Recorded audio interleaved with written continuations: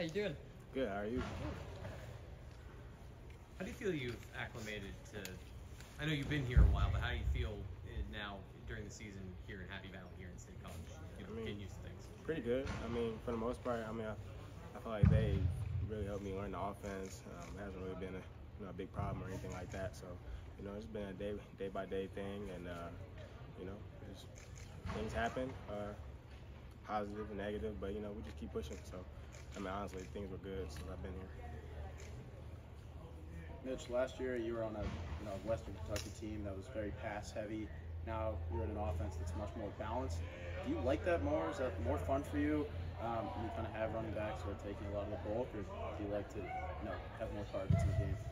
Uh, I mean, at the end of the day, I just want to help my team win. Um, you know, of course, you know, I came to this level to, you know, to prove that I can play at the Power Five level. So, I mean, you know, whatever targets or whatever I get, you know, I just got to take advantage of my opportunities. So, What's what's the biggest difference for you just on the field? nothing. I mean, honestly, I feel like, you know, people kind of make the Power Five and Group of Five thing too big. I mean, I would say the, the biggest difference is probably the trenches, the D line and the O line. But I mean, as far as like the skill positions, I mean, it's a skill position. So you know, you got to be skilled. You got to be able to know what you're doing out there. So.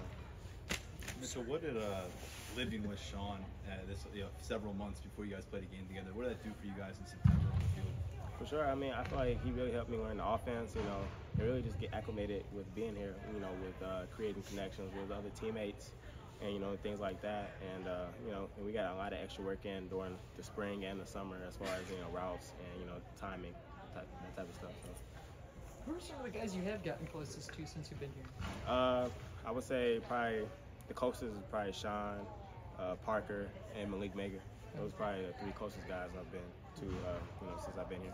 What can you tell us about Malik? Because we've heard a lot. We've seen him obviously quite a bit on special teams too over the years. I mean, he's, he's a dog. I mean, I feel like he's, he always has a positive attitude. You know, I mean, he never gets too low, never gets too high. He's always even kill. You know, I think he's a good player to have in your program, for sure. Mitch, how much do these big wins help you sort of getting, you know, a little bit more rest in games, not taking as many hits? Uh, and how much do you think that'll help as the year goes on? I mean, I feel like it's, it's been a good thing, but I mean, I think it's been, you know, better that, you know, we've been able to get so many guys rolling in, you know, and so many, you know, so much playing time, you know, so it's gonna help us down the line for sure. Mitch, what can you say about how deep this wide receiver room is? It seems like every time another guy's been given an opportunity, they've come up and made a catch. I feel like that's our motto. I feel like that's what Coach Stubbs preaches. You know, just taking advantage of our opportunities when we get in. And I, like I said before, you know, I've been saying it. You know, since the spring. I feel like all of us can go. You know, first, second, third string. I feel like we can all get the job done. How would you say uh, Kaden's been coming along? Good, good. I feel like he's really learning from Parker since they're both in the slot. And you know, he's always asking questions. You know, he's, he'll be ready also. How much of the deep passing game is being where you're supposed to be, and how much of it is chemistry with the quarterback that, you know, that kind of what we always talk about of just throwing it up and letting you go make a play? Yeah, I mean, it's a little bit of timing, and then it's a little bit of, you know, on the receiver end, just playmaking, you know, just having that mentality that it's your ball and nobody. So, you know, I feel like that is kind of what sums it up for the most part. But yeah, I mean, you know, reps and, you know, just continuously working at it, you know, you'll always, you know, be able to get better at it. So. How do you feel it's gone so far this season? Uh, obviously, I think I think we could be a little bit better in that range, uh, for sure. But I mean, you know, that'll come. You know, it just I feel like you can't put too much pressure on it. But I mean, at the end of the day, we're just gonna take advantage of our opportunities when we do get them. Are those explosive plays coming in practice for you, and were they were they something that was was typical in in, in camp? Yeah, yeah, yeah. We're, we're, we're throwing deep ball in practice, you know, and a lot of over routes and you know things like that. So I mean, you know, we've been getting those reps in practice, so you know, it'll it'll come. At what point did you realize that there were two freshman running backs here that might be pretty good? You remember when? First day I got here. Well, I can't say the first day, but early Really? when I got here, yeah. I mean, just in winter workouts, just their mentality, like you know, they were just grinders all summer long. You know what I mean? So I feel like you know they were going to be successful at you know no matter what. Um, but at the end of the day, I, you know, I didn't. Of course, I'm not in the RB room, so I don't know exactly how the depth chart was going to work out. But honestly, I mean, they're dogs for sure. What are some things you've seen from Northwestern uh, defensively? Uh, I mean, they're a solid team uh, for sure, especially on the defensive side. Uh, you know, the sound, you know, they, they're where they're supposed to be. But you know, at the end of the day, it's just gonna come down to execution from us. So. You're on the field a lot with, with Brenton Strange uh, at, at tight end. Um, it seems like that he's kind of raised his game a little bit this year. What, what have you kind of seen from him, um, you know, on the offense from tight end? I mean, just unselfish. He does everything he needs to do um, as far as pass game, run game. You know, I mean, he's, he's always where he needs to be. You know, he just has a mentality that you know he's always gonna get the job done. So.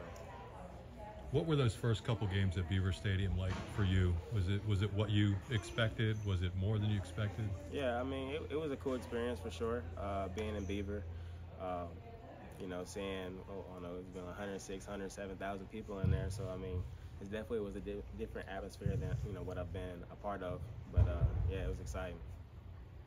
Obviously, you guys are busy doing a million things, but what's maybe is what stands out or what surprised you about just this place, this community, this campus, maybe since you've been here? The fan base is, is just something different like that, you know, that I've ever been a part of. I mean, just as far as just, you know, how connected they are, you know, how just even before you know, we even get in the stadium, you know, just the atmosphere as you're walking into the, the stadium is just it's just crazy. Like I've never I've never seen anything like that. So. How has the demeanor of, of Drew maybe changed from those early spring ball reps to where he is now? He's played in four college games and how he's carrying himself in the practice field. Uh, I think he's always been ready, uh, but just you know the position he is right now, you know behind Sean, that you know his time could be at any time. You know, I mean he's always got to be ready, and but you know I think he's he's always had a pro mindset for sure. Uh, so I mean I you know he'll definitely be ready when his time comes. We've seen a we've seen a little bit of Omari. Uh, what can you tell us about him as somebody who who's in that room with him and out on the field with him every single day? Explosive. You know, he's got major speed out there. You know, honestly, you know, as as long as I've been here, you know, I mean, he's been developing. You know, as far as his route running, you know, and things like that. You know, I think, you know, he's a guy that you know he's he's behind me right now, but he's a guy that you know, when he gets in there, he's definitely going to take advantage of his opportunity to make big plays out there. So, how do you communicate with him in the course of a game? Like when he goes out there, are you kind of paying close attention and giving him some feedback when he comes off? Yeah, I give him feedback, but you know, he's a smart guy. You know, for the most part, you know, I, I try to tell him what I'm seeing out there, but you know, for the most part, you know, he, he's always on point where he needs to be. So. All right, thanks, Mitch. Thank you. Thank you. Thank you. Appreciate it.